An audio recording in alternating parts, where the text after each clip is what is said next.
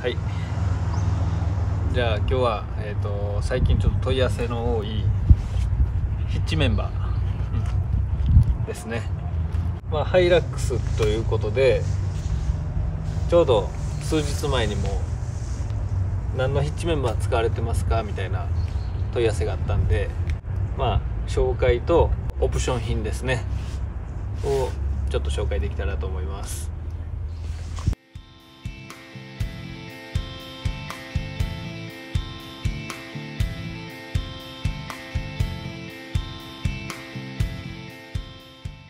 メンバーこれね。まあハイラックスの場合もうほとんどこの口しか見えてない状態。実際この裏にこれがヒッチメンバーと呼ばれるフレームですね。でこれがえっ、ー、とドロータイトって呼ばれるメーカーの、まあ、日本でこれを作ってるってところが知ってる人も多いと思いますけど。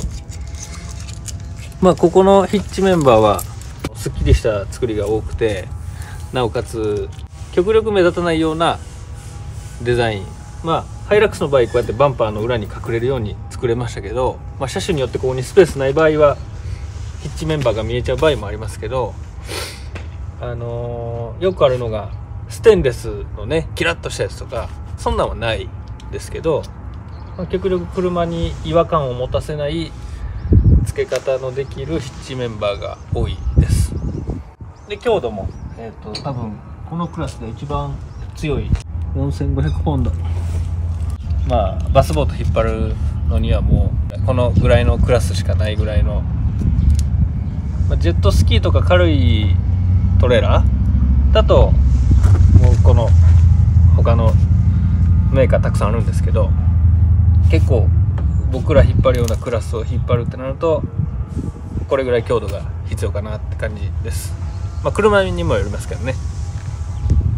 これ本来ならこういうこういう鉄のボールマウント。こういう黒いタイプが標準なんですけどこっちはアルミ製に変えてます。選べるとしたらここのこれの素材とステンレスもあるしアルミもあるし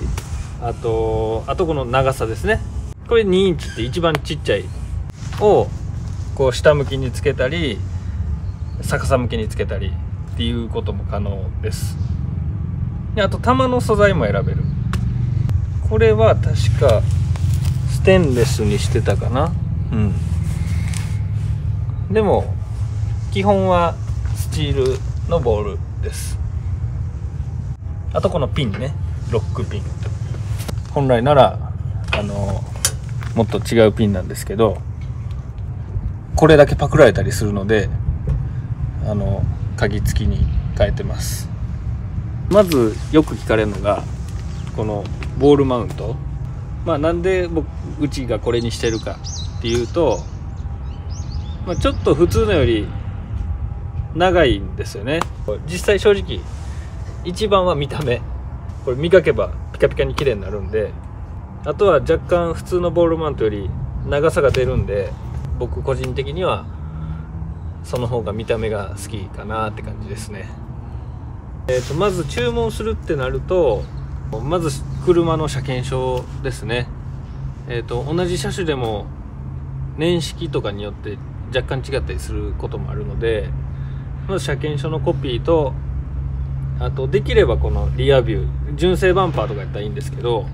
社外品とかついてるとマフラーとかですね。あのー、その辺でつかないとかあることもあるのでまあその辺の写真をいただければ一番確実かなと思います。リフトアップなんかしてるとこの口がどうしても高くなってしまうんでその分ここが長くする必要がある、うん、こう純正とかだともう大体決まってます。ハイラックスならもうこの2インチが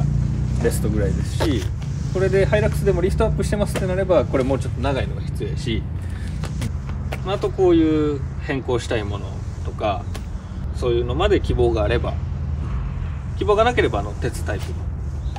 ものが。あと最近こう SNS とかでよく見かけた事故、うん、このピンが抜け落ちてこれごと外れてトレーラーが突き刺さったり落ちたり、うん、っていうのを23件見かけたこともあり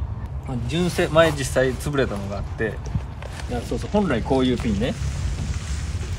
こうなってて。まあ本来ならこういうのを純正ね。これちょっと純正ではないかったんやけど似たようなのがあったんでこれでこれをキュッとこう刺すようなタイプ。こういうタイプが多いんですけど多分このこれが抜けちゃってこれごとなくなっちゃうたのがこれ。これちょっとタイプ違うけどほぼほぼ一緒の形なんで。これちょっと不安です最近は。僕らなんかはもうこのまあ、取られないっていう意味でもありこう鍵式のタイプ。こんなんはあんまり分解できしにくいので取れることはないかなと思います。僕なんかもこういう鍵で外すタイプ。こうやって鍵で外すタイプに変えてます。あと一応こういうネジとかねたまにチェックするのは。もうネジって絶対緩むのでちょっと大きい工具必要ですけど、まあ、バスボート以外もあの強度がある分には何でも引っ張れるんで、はい、発注もできるし、えーと、取り付けも、まあ、車種によってちょっと難しい場合があるんですけど、あのー、大体国産車は大体いけますので、はい、その辺もご相談いただければと思います。ありがとうございました。